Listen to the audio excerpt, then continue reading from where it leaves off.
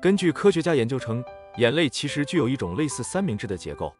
其最内层是一层粘性液体，中间具有一层水层，而最外层则是由油脂以及其他脂肪类物质所构成的。而每当我们眨眼时，该动作对眼睛的保护功能之一，就体现在眼睛内的这种特殊的脂肪物质能够阻止我们眼睛中水分的流失。在此发现基础之上，科学家进而发现了人类感到眼睛干涩的机理秘密。这都是因为我们眼睛中的这种特殊脂肪物质，如果含量过多或过少，都不能保持我们眼睛中适当的湿润程度，从而导致我们出现眼睛干涩的情况。